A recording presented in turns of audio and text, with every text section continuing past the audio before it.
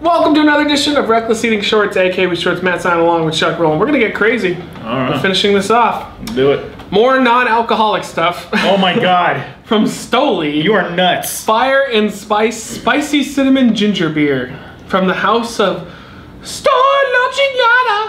Stolichnaya. Yeah. you agree? yeah, no way. Saw this at Walmart, and I'm like, okay, it's a mixer. That's the point. It's a premium mixer. We're not gonna mix it with anything though. We're just gonna we're just gonna go crazy and just try it as is, which isn't the intended use of it, I guess. But it's limited edition. There's gonna be so many people like so. It's in an energy drink can. Yeah, there's gonna be a lot of people ever. I mean, someone out there would drink it like this, right? Yeah, I'm sure there is. Yeah, it's not just a mixer, even though it says it's only a mixture. So this costs, uh, there's four of them, and it costs five something. Hmm. So we'll see. Ooh.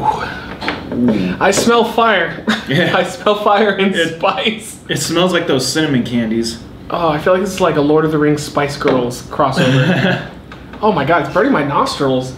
Ooh, okay, let's try it out. Oh, it's like a fireball. yeah. It's like those fireball candies. I like the fireball uh, booze too. Yeah.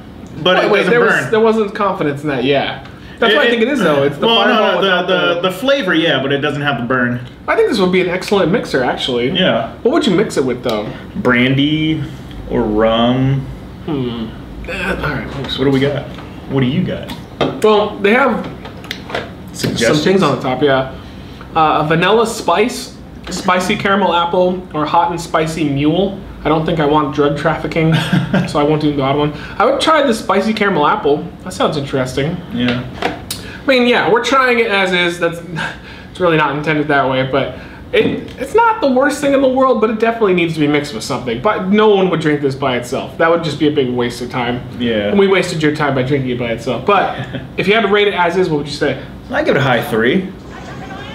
Eh, very low three. Low, low three. Because if somebody gave it to me, I might sip on it a few times. Yeah. That would be about it. That's it. But there you go. Uh, from Stoli, the Fire and Spice Spicy Cinnamon Ginger Beer. They have this right now at Walmart as we speak. Uh, this is the limited edition version. They have like a regular Stoli mixer as well. Didn't, didn't grab that one though. And uh, yeah, any final words for him on this last of our filming? We're done. I'm canceling the show. Oh. This is where we're taking it out. Going out with a bang. Nice knowing you, and I hope you watch our new show. Um, what, what do we call it? Something Hearts. Sugary Hearts. Sugary, sugar, sugar and bacon. Calamazzi! what that thing was called? More sugar. more, more sugar. Wreckless eating! Wreckless eating!